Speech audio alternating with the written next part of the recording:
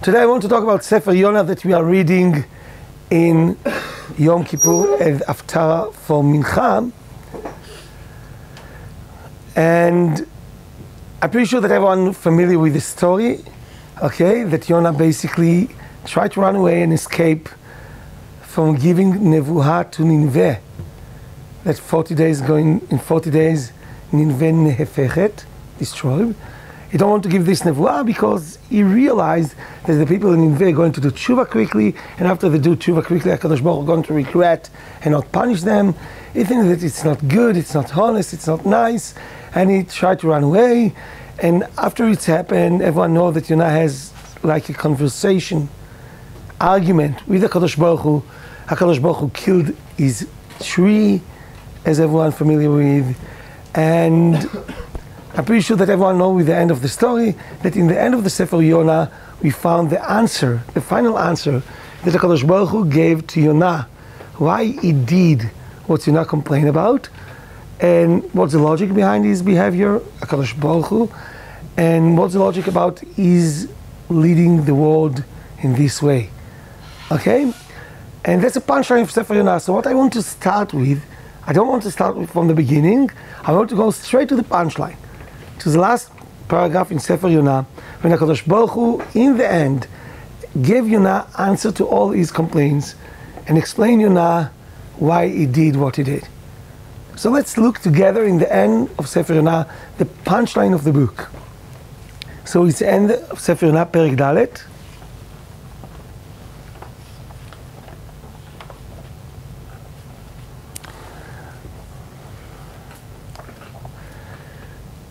Basically, I, want to read Pasuk Yud Aleph, but before I start to read Pasuk Yud Aleph, just a little bit back onto the answer. Has everyone remember the story with the Kikayon? Kikayon, the tree that was one day created, and then when Yonah get a little bit shed cell from the tree, then Hakadosh Baruch dried the tree, and Yonah get really upset from this.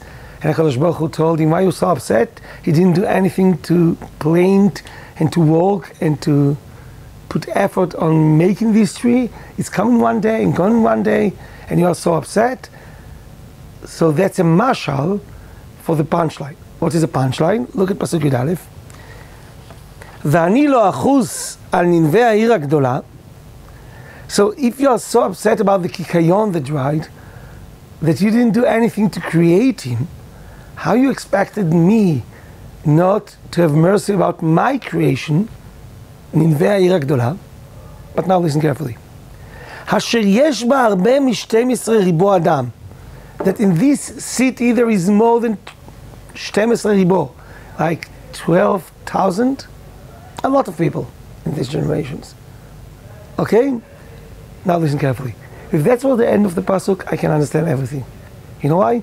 Because HaKadosh Baruch Hu basically told you now, you know, everyone have rachamim, mercy, about something that you love, like, want.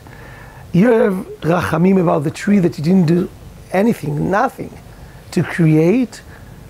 What do you expect from me not to have mercy about my creations? That's I can understand. But then HaKadosh Baruch Hu add few words. And let me be a little bit cynical and read this word with a little bit sarcasm. But it, it's, it's almost the only way to read them. אשר יש בה הרבה מ-12 ריבו אדם, there is more than 12, a lot of people, אשר לא ידע בין ימינו ושמאלו. What does it mean לא ידע בין ימינו ושמאלו? Don't know to make the difference between the left side and the right side. It's mean, why HaKadosh Baruch Hu need to forgive Ninveh? Because in Ninveh you have a, a lot of people, but all of them are basically dumb.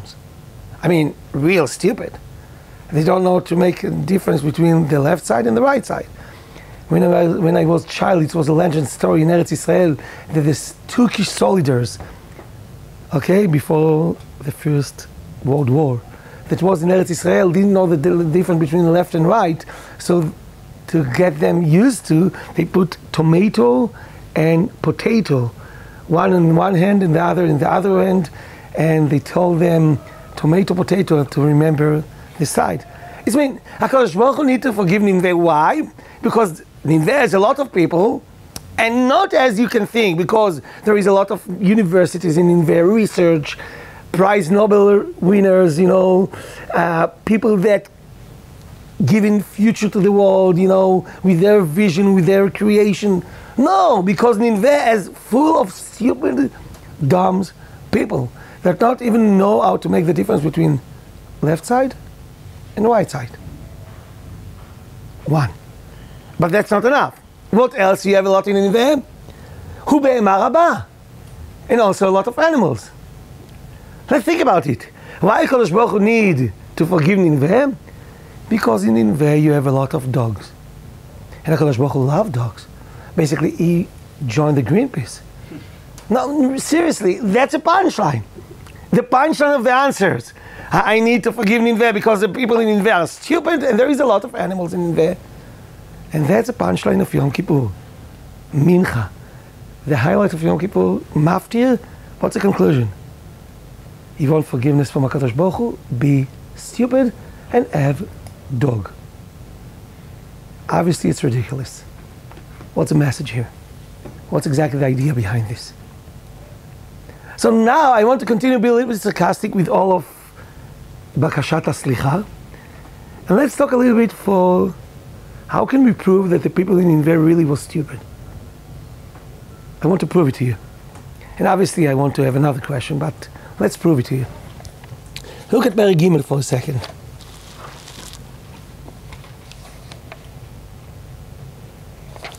Perek Gimel talking about the place that Yonah already came to Nineveh and told them the Nevuah that in 40 days Nineveh ne'efechet. Okay? Because we're going to destroy Nineveh in 40 days. And listen to this. What the people in Nineveh did.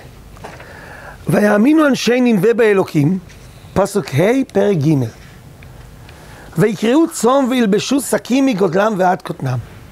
So the people on the street, the regular people, the Balabatim, when they heard what Yonah said when he walking the street and announcing that in 40 days Nineveh destroyed, they believe on what he said by HaKadosh Baruch Hu, and what they did, they decided to do tzom,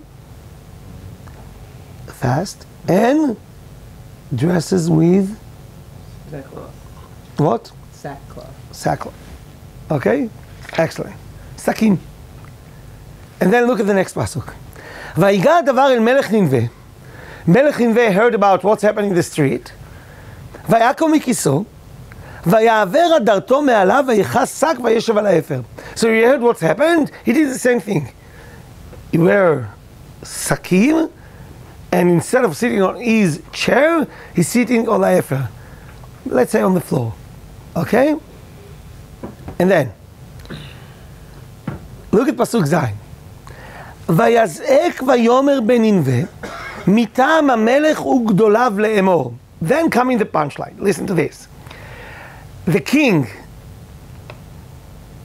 invited all his advisors, you know, the big people in Ninveh, all the ministers, advisors, all the important people.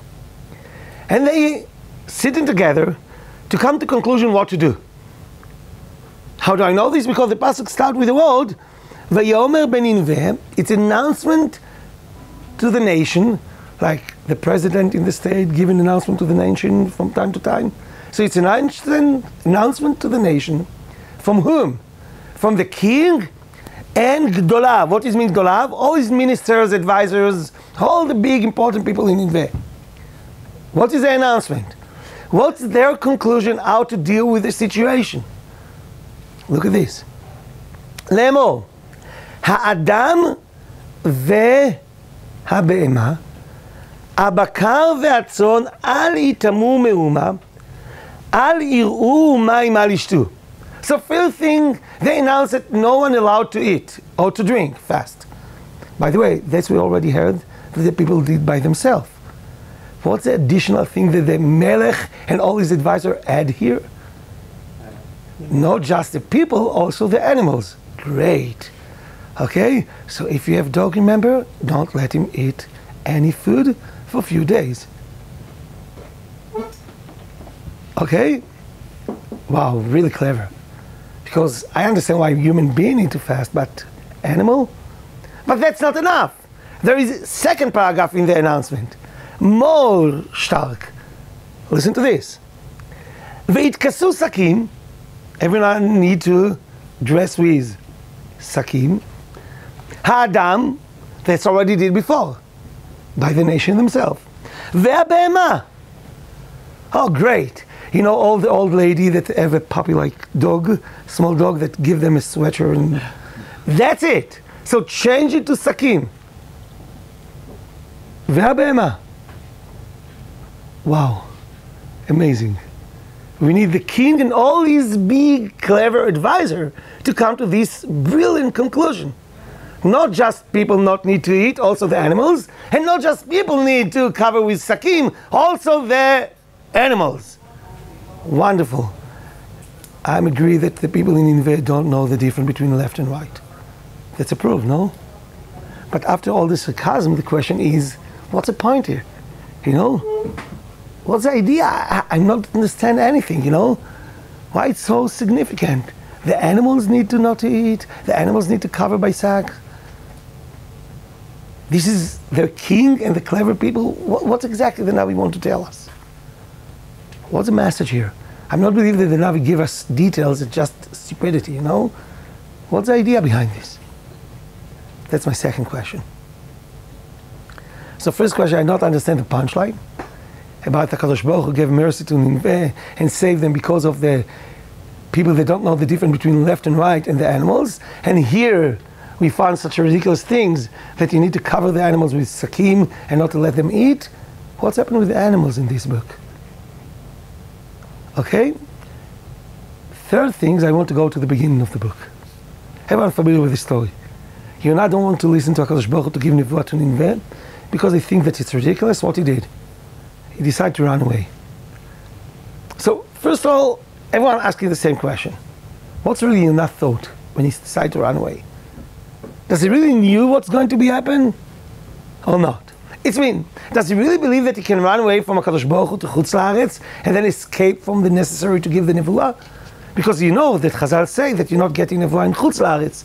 So he decided to run away to Chutz La'aretz to trick HaKadosh Baruch Hu, and then HaKadosh Baruch Hu not able to give him Nevuah because he's in Chutz La'aretz.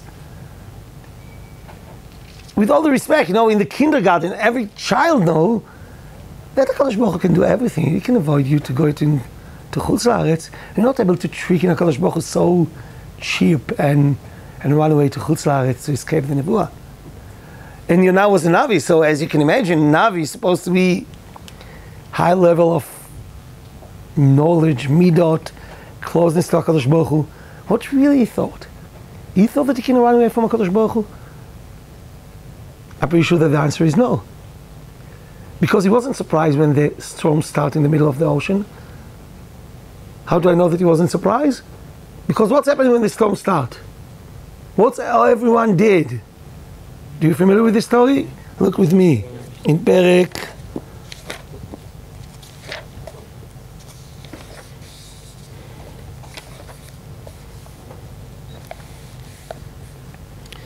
In פרק א' פסוק ה' ויראו המלאכים ויזעקו איש של אלוקיו That's after the storm start ויטילו את הכלים אשר באונייה אל הים להקל מעליהם ויונה ירד אל ירכתי הספינה וישכב וירדם. Okay, and now coming one of the beautiful ספרדי סליחות. ויקרב אליו רב החובל ויאמר מה לך נרדם? Kurum Krai Elokecha, etc. What's Yirah did? He went to sleep. And everyone understands that it's ridiculous, you know? Everyone understands that it's ridiculous to go to sleep, but it just proved to me that Yonah understand what's going on. And Yonah maybe knew even that HaKadosh Baruch had not allowed him to escape and run away from giving the Nevuah. And when the stones start, Yonah react with an irrational way. He didn't pray to HaKadosh Baruch Hu like everyone else. He didn't try to save himself. He went to sleep. It's like a child, you know, when he have nightmare, he covers and he thinks that someone come to his house he, he himself with a blanket, do like this, and think that maybe it's going to help him. It's a childish behavior. The only explanation to this childish behavior is what? To believe that you're not playing it from the beginning. He knew that HaKadosh Baruch not let him go, and he don't care. So what's exactly he wanted? These are the three questions that I want to discuss about Sefer Yonah. The Yonah behavior in the beginning of the book, the idea about Ninveh, Tshuva, that included the animals, something ridiculous in our opinion, and the conclusion of the book, the punchline. To answer these three questions and maybe to understand one of the messages of Sefer Yonah, I want to learn with you paragraph in the Sfat Emet. So everyone get the Sfat Emet, if not, there is more there. As you know, the Sfat Emet was the second Ger Rabbi. Okay?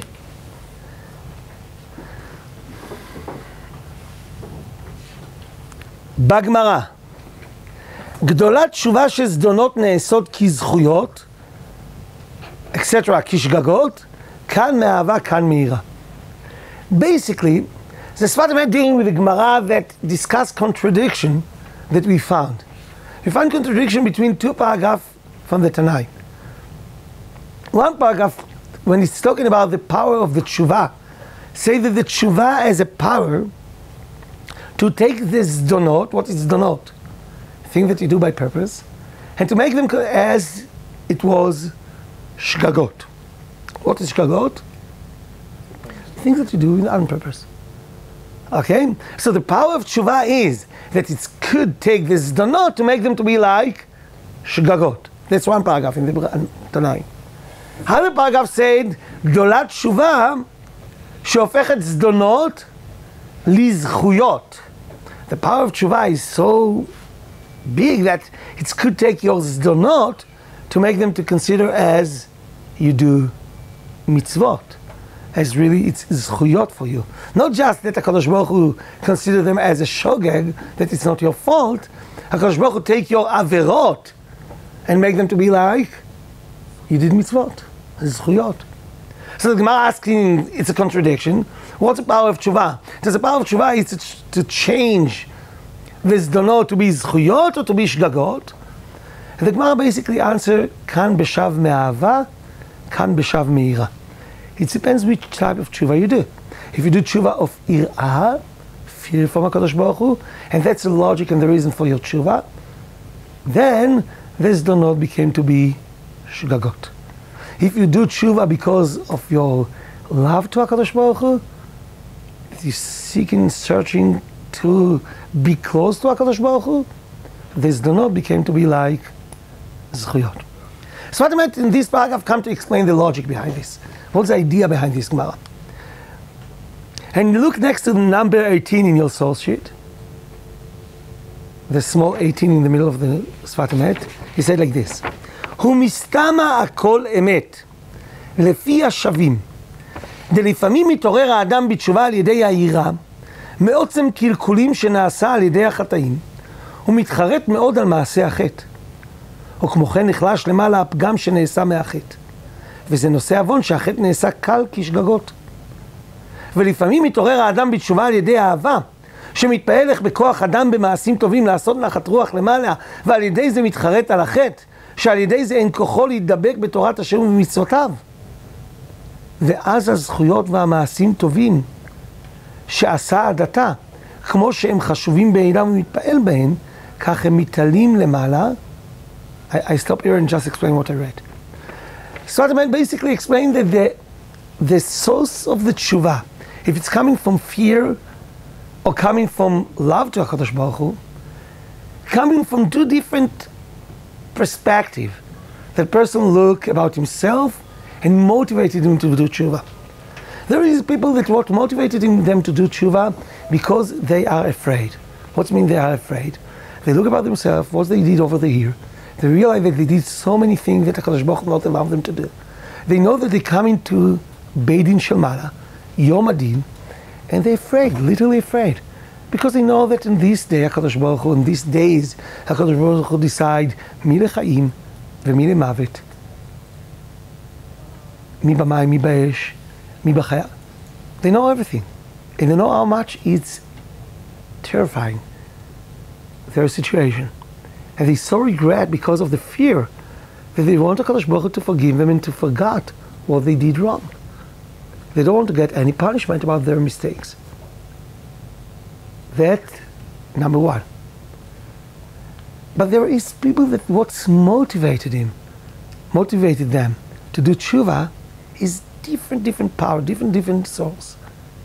It's because they feel the loneliness. That in their world there is no existence of a Kadosh Baruch Hu. They feel that they get meaningless to their life. They feel how their chataim over the year make them to be in such a bad position in their relationship to HaKadosh Baruch Hu. They feel them that they're losing their meaningless to their life. They're feeling that they're losing their connection to HaKadosh Baruch Hu. That's it. And they really upset about the idea that they're losing the ruchaniyut, the kedusha, the meaning to their life. And that's Shuvah Me'ava.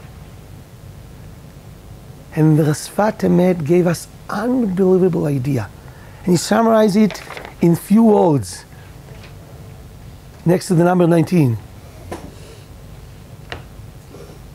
כי כל הנהגה למעלה, שלמעלה, תלוי ברצון האדם למטה.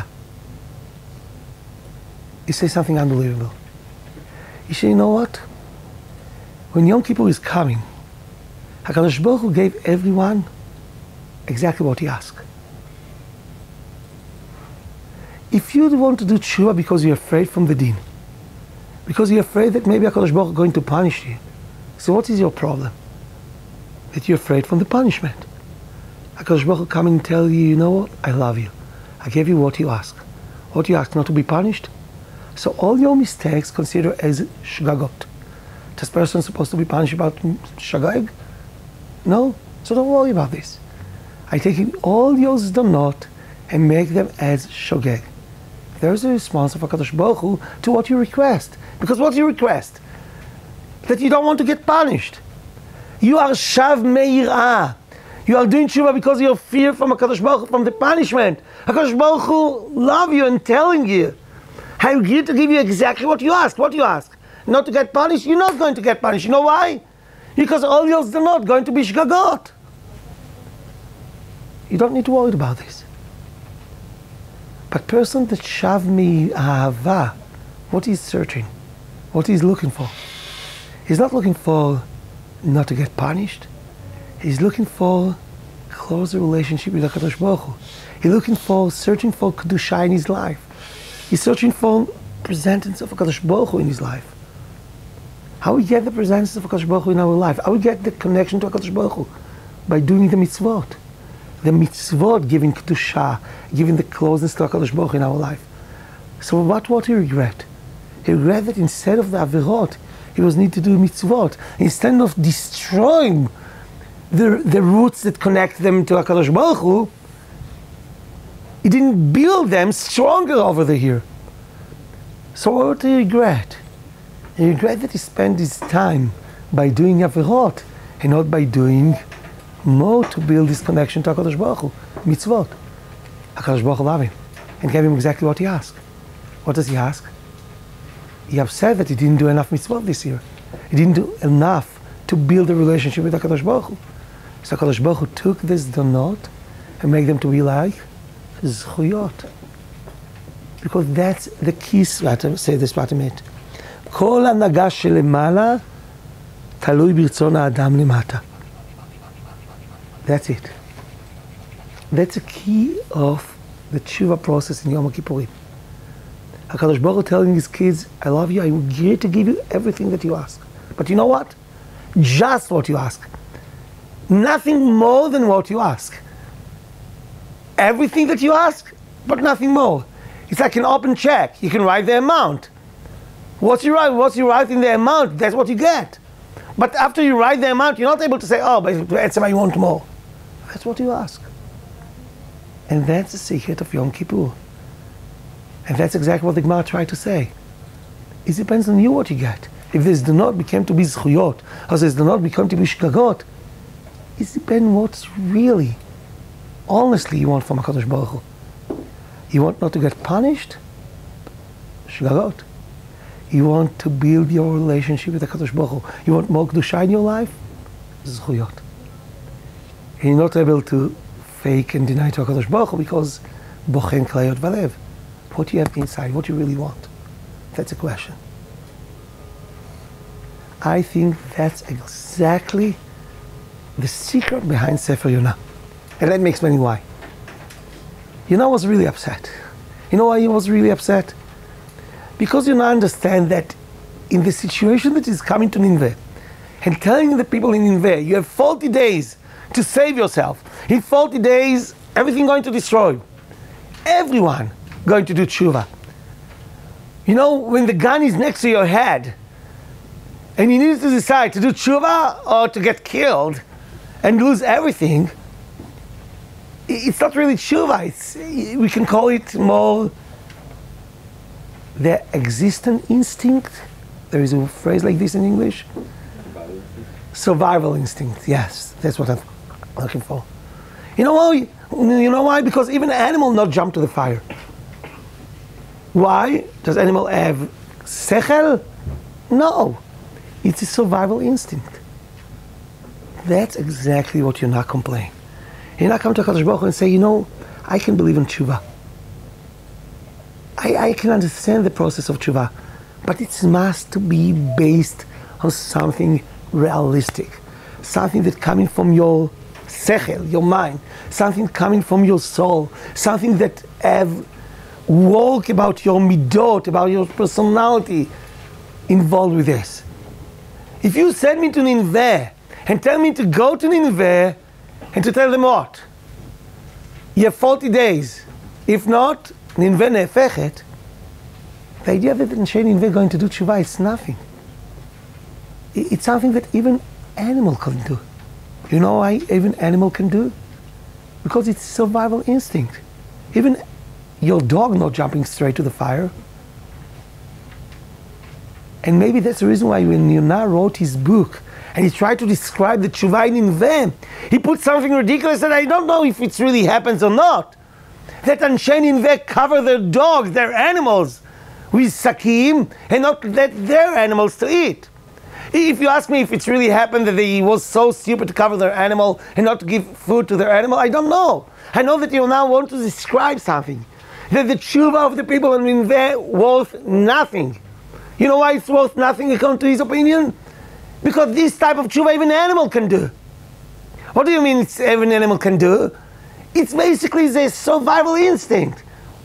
It's based just on one thing. You're putting gun next to your head and now what you have to do? You need to do tshuva. So it's not really tshuva. It's not coming from decision. It's not coming from thinking. It's not coming from feeling. It's not coming from any type of process. That's Yonah wasn't able to accept it. And that's the reason why you not describe this tshuva as tshuva of the animals. Because honestly, this type of tshuva, even without brain, animals can do. And you know what? Maybe it's also explained what Yonah did in the beginning of the book. When he's going to sleep, when he tried to run away. Yonah was so clever. He knew that the Baruch not let him to sleep. He knew that the Baruch not let him to run away and to escape. He come to Kadosh Baruch Hu and say, if in your word you agree to have relationship with human beings as animals, if you agree to let people to do tshuva as a passive, as a chefza, if you're familiar with this terminology, and not as a gavra, that they don't need to think, they don't need to do, they don't need to, to act, they don't need to do anything. They can be like animals. I'm going to be a Navi like this. You want me to give the Nevuah? Take me. I'm going to be like an object. I'm going to be like a chefza. I'm going to sleep and you need to carry me. If you agree to deal with this world, that people don't need to decide, that people don't need to be active, that people don't need to do things with knowledge, with thinking, with feeling, it's your business. So I want to be Navi like this. I'm going to try to escape. I know that you're going to carry me. And see how much it's ridiculous. This is the world that you want, Kadosh Baruch Hu? Such a ridiculous world? And you're not going to sleep by purpose because you want HaKadosh Baruch Hu to take him like an object. You don't want to go with his decision. You don't know to want to go with his emotions, feeling, thinking. You want to show HaKadosh Baruch Hu. That's become to be ridiculous, all this show. No one thinking, no one behavior like a human being, everyone behavior like a chefza, like animal. Also me.